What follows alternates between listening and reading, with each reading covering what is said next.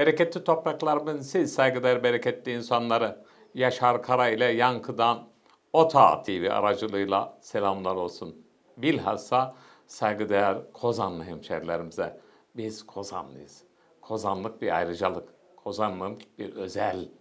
Kozanlık hem yurtseverlik anlamında hem vatanperverlik anlamında hem beşeri münasebette insanlık adına ayrıcalıklı bir yer. Kozanlı olmakla onur duyuyorum. Bugünkü konuğum da bir Kozanlı. Önce bir konuğumu size tanıştırayım, sonra ayrıntılara geçelim. Konuğum Türkiye Emekliler Derneği Adana Şubesi Başkan Adayı Mustafa Tümer. Mustafa Bey hoş geldiniz. Hoş bulduk Yaşar abi. Efendim Mustafa Tümer ve ayrıntılara geçeceğim. Mustafa Tümer'in talip olduğu yerle ilgili sizi bilgilendirmek istiyorum. Mustafa Tümer, Türkiye Emekliler Derneği, kısa ismiyle TÜET, tam 51 yıl önce kurulmuş. Türkiye'nin en büyük sivil toplum örgütlerinden birisi. Türkiye genelinde yüzün üzerinde şubesi olan bir yer. Kaldı ki Adana'mızda da iki şubesi var. Adana'nın en büyük STK'sı durumunda. Özellikle Türkiye Emekliler Derneği Adana Şubesi 72 bin aktif emekli üyeden oluşuyor. Bir de bunun Yüreğir Şubesi var. Yüreğir Şubesi 18 bin üyeden oluşuyor. Türkiye Emekliler Derneği Adana Şubesi Başkan Adayı Mustafa Tümer bir Kozanlı. Bugün OTA TV 27 yıldır yayınını sürdürüyor. OTA TV bazı bilmeyen dostlar için sosyal medyada özellikle bizi izleyen dostlar bilsin diye söylüyorum. 27 yıldır yayınını yapıyor. Türkiye'nin en eski televizyonlarından biri Londra'da, İngiltere Londra bile Adana Kozan'da OTA TV bilir. Bu nedenle OTA TV'nin bize bu fırsatı tanıyan yönetim kurulu başkanı kardeşim sevgili Levent Açıkgöz'e tabii ki e, görünmeyen kahramanlar arasında yer alan özellikle kameraman Mahmut Söğüt'e tüm o tatil izleyicilerine Kozanlara sevgilerimi sunarken bizleri sosyal medya aracılığıyla izleyen e, tüm Türkiye Emekliler Derneği'nin aktif üyelerine tabii ki hemşerilerimize selamlarımızı sunalım. Öncelikle geçmiş gelecek için tecrübe oluşturuyor. Neden bunu söyledim? Bugün 9 Nisan, 9 Nisan Cuma, hayırlı cumalar olsun. Bir cuma akşamı sizlerle buluşuyoruz. Ama bugünün güzelliği adına, bu mübarek günün güzelliği adına geçmişten günümüze gelerek bir rahmet okumak istiyorum. En önemli rahmetin birini hiç kuşkusuz Türkiye Emekliler Derneği'nin son 10 yıldır şube başkanlığını yapan OTA TV'de konuğum dahi olan, Kozanlara buradan selam vermiş olan Seyfi Hüseyin İyiyüre rahmet ve dualarla analım. Tabii ki tüm geçmişlerimizle birlikte, geçmişte rahmete erişmiş değerlerimizle birlikte. Bunu söylerken 4 Nisan 2014 tarihinde yitirdiğimiz dünyaya Türk gibi güçlü sözünü ezberlettiren adeta bir devden söz edeceğim. Tam 7 yıl önce yitirdiğimiz dünya ve olimpiyat şampiyonu Kozanlı İsmet Atlı'yı. Tabii ki Kozan çok önemli bir ayrıcalık. Özellikle siyasi misyon, ülkücü harekat anlamında. Ülkücü harekatın Türkiye'deki efsane lideri merhum Başbuğ Alparslan Türkeş'in ölüm yıl dönümü de 4 Nisan'a geliyor 1997. Onun da 24. yıl dönümü. Ama en önemli ayrıcalık 1969'da onu karşılayan Tarih Hoş Kadem Camii'nin önündeki çocuklardan biridir. Şu an OTA TV'de ki program yapımcısı Yaşar Kara. Bu nedenle Alparslan Türkeş'i, İsmet Atlı'yı, Seyfi Hüseyin'i yüre rahmetle anarken dualarımızı gönderiyoruz. Ve programımıza başlayacağız. Tekrardan Mustafa Tümer, Mustafa Tümer buram buram bir Kozanlı, buram buram bir Adana sevdalısı, buram buram bir memleket sever ve en güzel yaşında tam 61 yaşında inşallah bu yaşının güzelliğiyle Türkiye Emekliler Derneği Adana Şube Başkanlığı'na talip oldu ve ben kazanırsam Adana kazanacak diyor ve bundan sonrasını açıyoruz. Mustafa Tümer, merhaba, hoş geldin tekrardan. Ee, saygıdeğer Mustafa, sen bizim kuşağımızın evladısın. Sağlam yürekli bir arkadaşınsın. Gördüğümüz gibi yüreğe de iri bir adamsın. Gövdesi de iri bir insansın. Allah esirgesin. Öncelikle Mustafa Tümer'i bir tanıyalım. Sonra neden aday olduğunu bir izleyelim lütfen. Sayın Kara teşekkür ediyorum. Öncelikle bize bu fırsatı veren OTA TV Yönetim Kurulu Başkanı Levent Açıkgöz'e ve arkadaşlarına teşekkür ediyorum. 4, 4 Nisan'da hayatını kaybeden Sayın Alparslan Türkeş, Seyfi İyi Yürek ve merhum İsmet Atlı'yı da rahmetle, minnetle anıyorum. Ben Kozanlıyım. İdem köylüyüm. 35 yıldır Adana'da ikametgah ediyorum. Eski bir siyasetçiyim. Çuko Birlik'ten emekliyim, sendikacıyım, evliyim, dört çocuk babasıyım. Türkiye Emekliler Derneği Adana Şube Başkanlığı'na adayım. Bağkur'un yanındaki şubeye adayım. Tüm hemşerilerimin bunu özellikle bilmesini istiyorum. Aday olduğum andan itibaren desteklerini esirgemeyen sevgili hemşerilerime, başta Kozan Belediye Başkanımız Sayın Kazım Özgan'a, Milliyetçi Hareket Partisi Kozan İlçe Başkanı Sayın Nihat Atlı'ya, AK Parti İlçe Başkanı Sayın Yusuf Bilgili'ye, Cumhuriyet Halk Partisi İlçe Başkanı Sayın Bünyamin Sedefoğlu'na, İyi Parti İlçe Başkanı Sayın Veysel Sırkıntı'ya, STK'ların başkanına, Ticaret Odası Başkanı, kadim dostum, canım Mustafa Kandemir'e, Ticaret Borsası Başkanı İdris Çevikalp'e,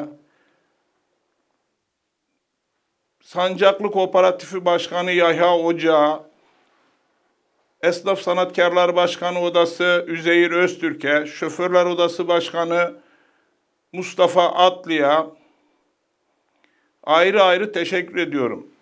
Biz burada bugün kendimizi anlatmaya geldik. Ben uzun yıllar Çuko Birlik'te çalıştım. Çuko Birlik'ten emekliyim. Arkadaşlarımın ısrarıyla Türkiye Emekliler Derneği Adana Şube Başkanlığı'na aday oldum. Aday olduktan sonra Adana, Kozan, İmamoğlu ve dört merkez ilçede gitmediğim, elini sıkmadığım, ziyaret etmediğim hemşerilerimi bırakmadım. Bunların yanında özellikle bana destek olan muhtarlara, bana destek olan sivil toplum kuruluşların başkan ve yöneticilerine ayrı ayrı teşekkür ediyorum. İmamoğlu Belediye Başkanı'nı ziyaret ettim. İmamoğlu'ndaki STK'ları ziyaret ettim. Yani gördüğüm şey şu, biz bu seçim olursa önce Allah'ın sonra da sevgili hemşerilerimin bana destekleriyle bu işin başarıyla sonuçlanacağına inanıyorum.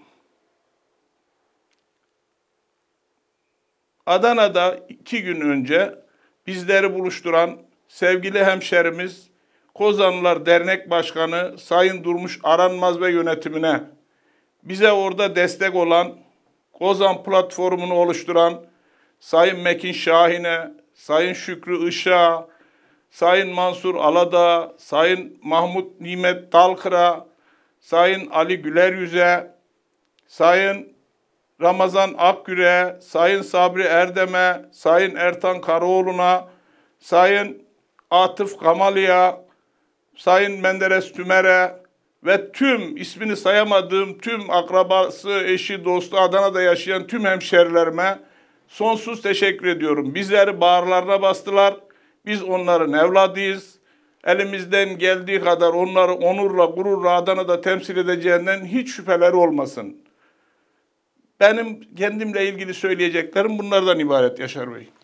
Saygıdeğer Mustafa Tümer'le ilgili yaptığımız konuşmalar devam ediyor ama sadece bu kadar değil. Tabii Mustafa Tümer'i anlatırken iki sözle anlatmak çok dar olur diye düşünüyorum. Mustafa Tümer çok ayrıcalıklı bir isim.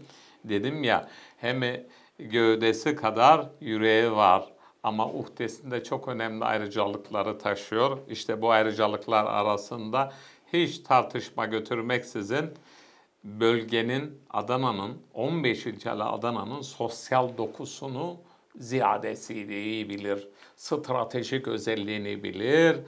Siyasi yapılanmasının yanı sıra iktisadi verisini de bilir. Ha, bu ne demektir? Bu toplumla günübirlik iştigali vardır. İşte bunun temelinde yatan ülke ocaklarının içerisinde içerisine gelmiş olması, daha sonra merhum Süleyman Demirel'in liderliğini yaptığı merkez sağ, eski tabirle Adalet Partisi, sonraki yıllarda Doğru Yol Partisi, Demokrat Parti'de siyaset yapmış olması. E, tabii ki Çuko Birlik gibi dünyanın ikinci büyük entegre tesisinde çeşitli kademelerde görev almış olması, sendikacılıktan güvenliğe kadar, üst düzey yöneticiliği dahil ama çiftçisinden ziraatçısına, Kozanlısından Mardinlisine, Mardinlisine uzanan çizgide hep insanlarımızı iç içe olmuştur. Zaten bunun ana temelinde de Türkiye Emekliler Derneği Başkanlığı'na talep olmasında emekleri çok iyi tanıyor olması. Kaldı ki o kuşağın en verimli isimlerinden biri. Şimdi Mustafa Tümer'e neden Türkiye Emekliler Derneği'ne aday olduğunu soruyoruz. Özellikle de 72 bin üyesiyle bölgenin en büyük STK'sı konumunda. Türkiye Emekliler Derneği Adana Şubesi. Dilerseniz o şubeye yönelik, Adana emeklisine yönelik bazı ayrıntıları da tabii ki çalışmalarla ilgili de bir bilgi sahibi olalım. Sayın Kara teşekkür ediyorum. Ben neden aday oldum? Ben arkadaşlarımın ve tüm emekli kardeşlerimin ısrarıyla aday oldum. Ee, Adana'daki emeklileri yakinen tanıyorum. Uzun yıllar siyasetin içinde bulundum. 6 dönem Seyhan İlçe Başkanlığı yaptım. En azından Çukurova ve Seyhan birleşikken 52 vilayetten büyük bir ilçenin 6 dönem ilçe başkanlığını Rabbim bize nasip etti ve yaptık. Çukurova Birlik'ten emekliyim. 10 bin çalışanı olan Bossası, Teksası, Mensası, Güney Sanayisi, Özbucağı, Tekerli, köy hizmetleri, buradaki emeklilerle ilişkileri iyi olan bir insanım.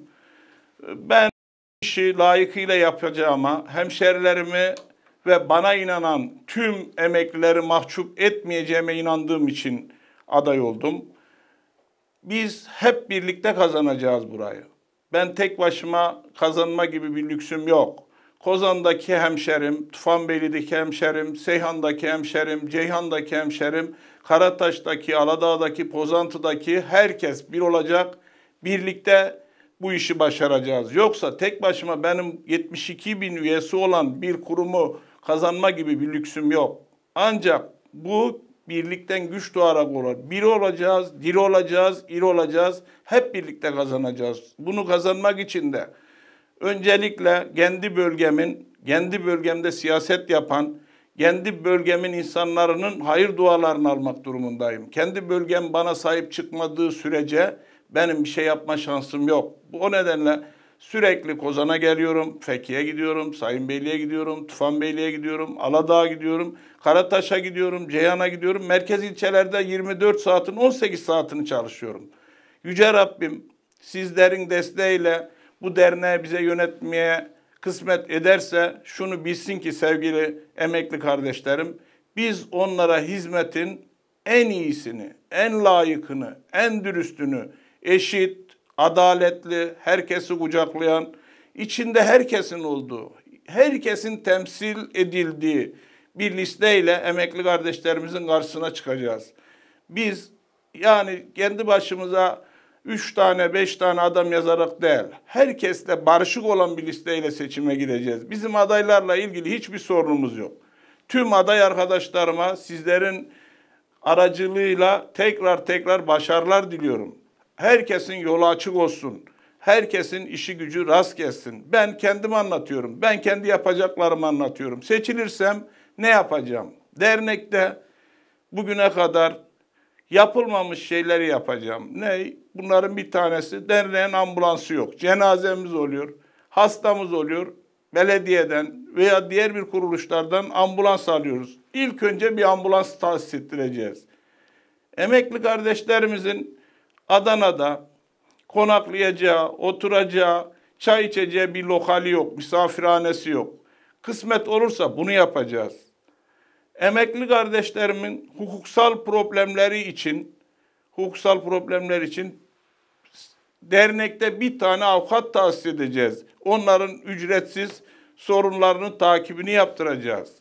Emekli kardeşlerimizin çocukları, okuyan çocuklarına kendi imkanlarımız dahilinde dışarıdan da yani hayırsever vatandaşlarımızdan da yardım alarak onlara burs verilmesini sağlayacağız. Her şeyden önce kimseyi ayırmayacağız. O dernek herkesin derneği olacak. Sadece bana oy verenlerin değil, oy vermeyenlerin de derneği olacak. Ben bu düşünceyle aday oldum. İnşallah sizlerin, sevgili hemşerilerimin, sevgili emekli kardeşlerimin destekleriyle bu işi başaracağıma da inanıyorum. Seçim ne kadar uzarsa uzasın, seçim hangi tarihte yapılırsa yapılsın, biz seçime yarın olacak gibi hazırlanıyoruz. İnşallah seçimin sonunda da galip gelen Adana ve emekliler olacak diyorum. Evet, Otağı Televizyonu'nun saygıdeğer izleyicileri bir Kozanlı konuşuyor ve Türkiye'nin en büyük STK'sı Adana'nın en büyük STK'sı konumunda olan Türkiye Emekliler Derneği Adana Şubesi Başkan Adayı hemşerimiz Mustafa Tümer'i Otağı TV'de konuk ediyoruz. O hem kendini hem projelerini anlattı. Anlatırken bazı ayrıntılar verirken kenetlenmeyi, bütünlüğü, dirliği de beraberinde getirdi. Tıpkı Büyük Önder, ülkemizin banisi, Gazi atamızın, Büyük Atatürk'ün söylediği birlikten kuvvet duvar anlayışını da burada getirdi. Bu öncelikle alkışlanacak bir gelişme. Tabii ki tek başına hiçbir şey olmaz. Bir elin nesi, iki elin sesi anlayışından yola çıkarak Kozanlılar platformu az önce kendi isimlendirdi. Saygıdeğer Mekin Şahin, Şükrü Işık, Mahmut Nimet Dalkır, Mansur Aladağ, Hasan Sabri Erdem, Ali Güler Yüz, e, Doktor Burak Yeğenoğlu, Yaşar Kara olarak bendeniz ve birçok ayrıcalıklı isim ki bunlardan biri Sayın Mustafa Tümer ki Kozan Sistiler Derneği Başkanı özellikle Durmuş Aranmaz'ı burada sevgiyle selamlıyorum. Çünkü çok önemli başarı imza attı. Bu Kozanlar platformunda motorize e, konumuna geldi. Orta sahamızda en önemli etken bir isim. Çok güzel bir toplantı yaptı Adana'da. Mustafa Tümer adına çok güzel e, kozanlar bütünleştiren, kozanları bir araya getiren bir toplantı düzenledi. Bir yemek adı altında yapıldı. Bu yemeğin organizesi hiç tartışmasız Kozan Sistler Derneği'ne aitti. Ama bu derneğin bu etkinliğine destek veren Kozan platformuydu. Buradan tek bir ses çıktı. Mustafa Tümer öncelikle Kozanların Birliği ilk başarısı burada Mustafa Tümer'i Türkiye Emekliler Derneği yani Adana'nın en büyük sivil toplum örgütünün başına getirmek, onun seçilmesini sağlamak dedi. Mustafa'nın da orada bize söylediği en büyük güzellik şudu. Doğduğum yer önce beni desteklesin dedi. Arkasından da ben siyasi rozetimi çıkardım dedi. Bu çok önemli bir ayrıcalıktı. Zaten zaten orada da ayrı görüşleri İbrahim Karaoğlu gibi bir ismi Yaşar Karay'la, Mekin gibi bir ismi Mustafa Tümer'le, Şükrü gibi bir ismi bir başka isim de buluşturdu. İşte bu buluşturma Kozanların bütünlüğüydü. E, Türkiye Emekliler Derneği'ni yarınlarda başarılıya getireceğine inandığım bir isim Mustafa Tümer. Ben de Türkiye Emekliler Derneği'nin aktif bir üyesiyim ve dönem dönem danışmanlığını yaptığım bir yer. Onun için de çok iyi biliyorum. Mustafa Tümer çalışmalarını yaparken bazı sözlerim de olacak tabii, sorularım da olacak. Toplumun aydınlanması gerekiyor bu konuda. Bilhassa bunun acısını hem kendisinin hem benim hem bir kuşağın çektiğine inanıyorum. 2001'den sonra emekli olanlara intibak yasası Bu o ta neredeyse 20 yıldır devam eden bir süredir geliyor. İntibak yasası ile ilgili bir çalışman olacak mı diye birinci sorum Mustafa Tümer'e olacak. Bir de çok önemli bir sorum daha var. E, bu özel bankalardan emekli olanlarla ilgili onlara ikramiyeden muaf tutuldu. Devlet babanın e, Ramazan ayında ve Kurban Bayramı'nda verdiği paradan muaf tutuldu. Bununla ilgili bir çalışmanız olacak mı diye e, OTA TV'nin saygıdeğer hemşehrimiz konu Mustafa Tümer'e soruyorum. Teşekkür ederim. 2000 yılından sonra emekli olan emekli kardeşlerimin intibak yasasının insanca yaşanılabilir bir ücret seviyesine çıkarılması için elimden gelen her şeyi yapacağım. Özel bankalardan emekli olan 17 bankadan özellikle emekli olan banka emeklileri ikramiye alamıyorlar. Onlarla ilgili de hem bakanlık düzeyinde hem SSK düzeyinde hem de özel bankalar düzeyinde ikramiye, ikramiye alabilmeler için elimden geleni yapacağım. Emeklilerden kesilen, sağlıkta kesilen katkı, katkı payının kaldırılması için özellikle gayret göstereceğim. Bayram ikramiyelerinin artırılması 1000 lira yerine 2000 lira olması için her yerde mücadele edeceğim. 72 bin emekli adına yapılması gereken ne varsa onun mücadelesini vereceğim. Yeni emekli olan sevgili emekli kardeşlerimin ücretlerinin 1500 lira yerine en az asgari ücret düzeyinde olması için elimden geleni yapacağım. Emekli maaşları insanca yaşanılır hale gelmesi için gerekli girişimlerde bulunacağım. Bunlar benim başkan seçildiğimde yapabileceğim, elimden geldiği kadar gayret göstereceğim. Projelerimin içinde en önemlisi biraz önce Yaşar abi bize kozanlarla ilgili yemekle ilgili bir şeyler söyledi. Ben bu yemeği düzenleyen arkadaşlarıma özellikle Kozan Dernek Başkanı Sayın Durmuş Aranmaz'a bir daha hepinizin huzurunda yönetimine ve oraya katılan ismini sayamayacağım kadar asil, değerli hemşerilerimin hepsine televizyonunuz aracılığıyla ayrıca tek tek teşekkür ediyorum. Ben onurlandım. Bir kozan olarak gururlandım. Onların bana verdiği desteğin altında kalmayacağım. O, o şubenin başkan olursam hemşerilerime, emeklilere en güzel hizmeti en dürüst hizmeti yapacağımdan hiç kimsenin endişesi olmasın, şüphesi olmasın. Efendim OTA TV'de Mustafa Tümer'le yaptığımız konuşma tüm hızıyla devam ediyor. Ee, özet sözde Yaşar Kara ile Yankı'da hep gerçekler konuşulmuştur şimdiye kadar. OTA TV'de de gerçekçi konukları aldım. Gerçekleri konuştuk, doğruları konuştuk. Duygusal anlar da yaşadık ama daha çok duygusallıktan ziyade merhum Ziya Paşa'mız Adana valimizin dediği gibi ne diyor? Tiz riftar olun payına damen dolaşır erişir maksu menzile aheste giden diyor ki hızlı gitme ayağın eteğine dolaşır. Fakat ağır ve emin adımlarla git ki hedefine ulaşasın. Adana'da Adana'da 439 bin yani 440 bin emekli var. Bu 2020'nin verisi. Bunun 100 bini örgüttü. 440 bin emeklinin 100 bin örgüttü. Ortada 330 bin emekli yok. Yani birçok şeyden kopmuş vaziyette. Bunun 100 bin emeklinin de aşağı yukarı 90 bini Türkiye Emekliler Derneği Adana Şubesi ve Yüreği Şubesi'nin üyesi. Gerisi de sayır derneklerin üyesi. Ben bununla ilgili Sayın Mustafa Tümer'e sormak istiyorum. Yani yarınlar adına yapacağınız çalışmada geri kalan 100 bin emeklimiz var ama geride 330 bin, 340 bin kalan Adanalı emekli var. Bunlar için e, tekrardan bir STK'larda buluşturmak için bir çalışmanız olacak mı? İnşallah görev tevdiye halinde, tevdiye halinde diyorum. Ve Kozanların huzurunda Otağı TV'de üstüne basarak da bir şeyin altını çizmek istiyorum. Bunu Yaşar Kara, gazeteci, mesleğinin emeklisi 50. yılını doldurmuş bir insan olarak Emekler Derneği'nin basın danışmanlığını yapmış bir isim olarak söylüyorum. Oyum Mustafa Tümer'e bir kozanlı olarak, dürüstlüğünden yana da oyum onunla bir kozanlı olarak. Emekliye çok iyi şeyler vereceğine inanıyorum. Projelerini de hayata geçireceğine inanıyorum. Yani tuttuğunu koparabilen özellikleri olan bir insan olarak onu.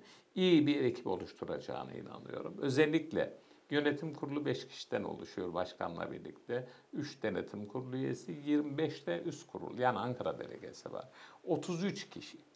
33 de bunun yedeği. Toplamda 66 kişi. Kozanların o TV'nin huzurunda Mustafa Tümer'e oy vereceğimi söylerken üstüne basarak onun 66 kişilik listesinde görev tevdi isteğim, talebimin olmadığını belirtmek istiyorum. Niye biliyor musun? Ona inanıyorum bir hemşeri olarak veriyorum. İşte kozanlar bir birlik için vardır, dirlik için vardır, bütünlük için vardır. İşte bugün bütün Adana'daki gazetelerde, OTA TV'de dahi, OTA TV'nin haber ajanslarında dahi aynen şu vardı. Kozanlılardan tümere tam destek. En önemli destek OTA TV'nin önünde Yaşar Kara veriyor. Efendim şimdi söz sizde. Geri Sayın- kalan üyelerimizle ilgili. Sayın Kara teşekkür ediyorum. Ben 72 bin üyesi olan şube başkanlığına seçildiğim takdirde seçildiğim ilk günden itibaren derneğimize üye olmayan 339 bin üyenin derneğimize üye olmaları için kapı kapı gezeceğim. Onların dernekte derneklere üye olmaları gerektiğini, onların derneklerin yaptığı anlaşmalardan faydalanmaları gerektiğini anlatacağım. Ben sokaktayım, sahadayım, çalışıyorum. Emekliler şundan adı gibi emin olsun. Mustafa Tümer oraya seçilirse onların hangi derdi varsa, isterse Adana'ya, isterse Ankara'ya her zaman yanlarında olacağım, emirlerinde olacağım. Onlara elimden geldiği kadar gayret göstereceğim. Hiç kimseyi ötekileştirmeyeceğim. Herkesin başkan olacağım. Herkese eşit olacağım. Herkesi kucaklayacağım. Bunları kucaklarken benim de bir tek isteğim var OTA televizyon aracılığıyla. Tüm bölgesel olarak hemşerilerimin tamamından Feke, Sayınbeyli, Tufanbeyli, İmamoğlu, Kozan, Aladağ, Karahisalı, Pozantı, Karataş, Ceyhan ve dört merkez ilçedeki tüm hemşerilerimden isteme, istediğim tek şey şu. Beni bağırlarına bastılar. Bundan sonra da bana destek olsunlar. Ben onları mahcup etmeyeceğim. Yüce Rabbim çıktığımız yolda bizi başarılı kılsın. OTA televizyonuna tekrar tekrar teşekkür ediyorum. Bizlere bu güzel imkanı sağladığı için ve Sayın Kara'ya da teşekkür ediyorum. Bana düşen bir Kozanlı olarak bana düşen ne varsa 24 saat emeklerin hizmetinde olacağımı beyan ediyor. Saygı ve sevgilerimi sunuyorum. Çok teşekkür ederim. Biz Mustafa Tümer'le OTA TV'de yapmış olduğumuz yayınımızın sonlarına geldik. Son mesajlarımız olacak. O mesajlarımızı verelim.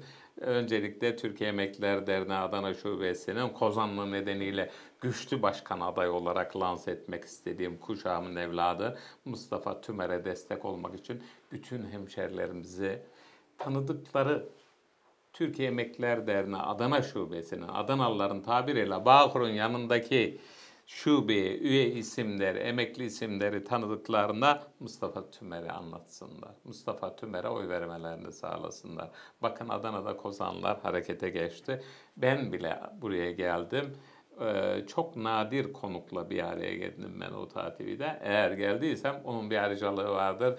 Kozanlarla buluşturmanın verdiği hazı yaşıyorum şu an. Mustafa Tümer de o hazlardan biri. Bu vesileyle Mustafa Tümer'e Türkiye Emekliler Derneği Başkanlığı'nda başarılar dilerken, Allah yolunu açık etsin derken oyumu ona vereceğim üstüne basarak ifade ediyorum. Bir kozanlı olarak bunu söylüyorum.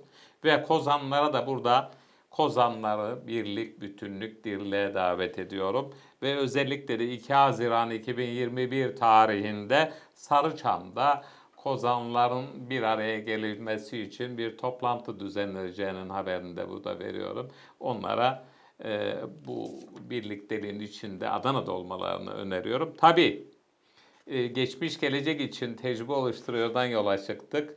Bugün mübarek bir gün, hayırlı cumalar dedik ama e, merhum Seyfi Bey'in 29 Aralık'ta vefatından 4 Nisan'da yitirdiğimiz Dünya Avrupa, şey Dünya Olimpiyat şampiyonumuz Kozanlı medarı iftarımız İsmet Atlı'nın vefatının 7. yılından merhum Alparslan Türkeş Başbuğ'un vefatının 24. yılına kadar anlattık. Ama yarın da anlatmazsak eksiklik olacağız. Yarınlar bizim geleceğimiz, rönesansımız. Yarın 10 Nisan. Türk Polis Teşkilatımızın bir anne kadar şefkatli, bir hukuk adamı kadar hukukçu diye nitelendirdiğimiz asayişimiz Berkemal'in yani Türk polisimizin kuruluşunun 176. yıl dönümü. Tabii Yaşar Kara ile Yankı programını sunan Yaşar Kara olarak benim de 60'lı yaşların birazcık yukarısına doğru kaydığımın e, günü. Yani benim doğum günüm 10 Nisan.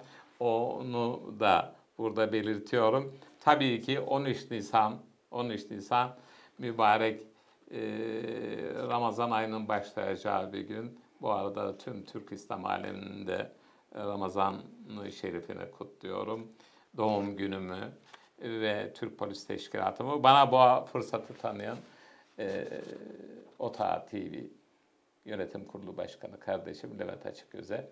Tabii böyle e, güzel bir ortamın içerisinde konuğum olabilme yürekliliğini gösteren Mustafa Tümer'e başarılar diliyorum. Bizi izlediğiniz için teşekkür ediyorum. Selam olsun Kozanlar.